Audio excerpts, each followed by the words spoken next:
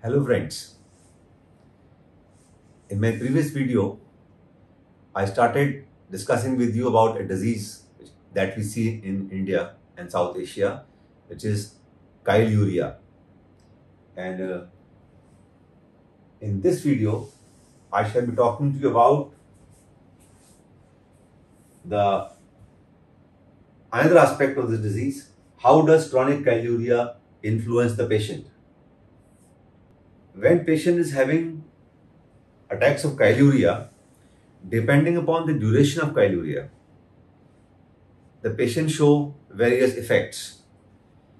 But before we go into that, let us first see when patient passes chyle through urine, what does he lose? This is what is the urine, like milk.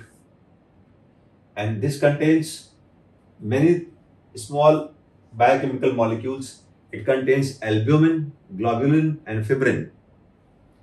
It contains lots of lymphocytes and also contains plenty of chylomicrons, which in itself contains cholesterol, phospholipids, and triglycerides and proteins. So, patient is having what? Patient is having loss of lipids and fatty acids, and patient is also losing fat soluble vitamins. So, that is what the patient will lose if he has chyluria. How does it harm the patient?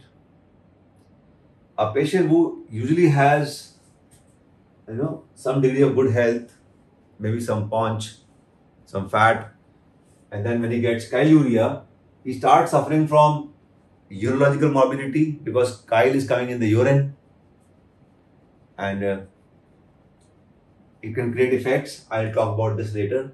Or he can have nutritional consequences on account of losing chyle in urine and from the body. And he can have immunological consequences because of loss of globulins and lymphocytes through urine. So these are three kinds of ways by which patient may be adversely affected.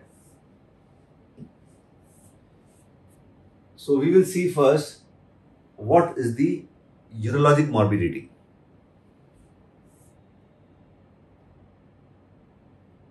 The chyluria is seen in mild form where patients complain of passing whitish urine. Urine looks slightly white, more like buttermilk, or even less dense than that. And the episodes are intermittent. Some patients have moderate chyluria where the milkiness of urine increases and becomes thick white urine. And he passes four times in a day urine, every time he passing thick white milky urine.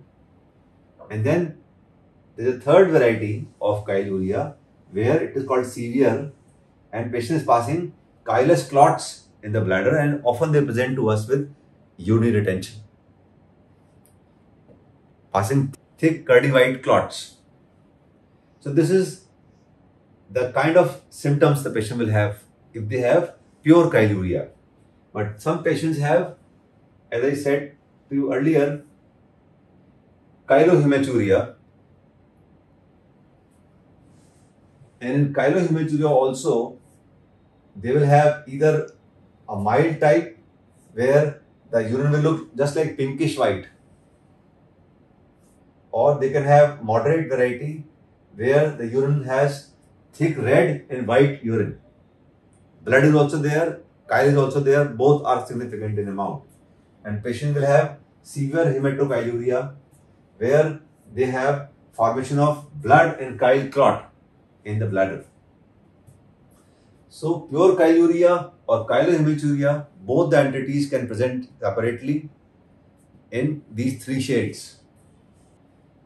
When this is the case, blood and chyle clot in bladder, patients often develop by that time significant anemia and hyperproteinemia. About the nutritional morbidity, as I said, there's a protein loss happening in the patient. And they are losing albumin because of which often they complain of edema and profound weakness. Fibrin and globulins. The fibrin is responsible for clot formation and globulins result into some kind of immunodeficiency state. They are also losing fat and depending upon the duration of fat loss, patients have loss of lipids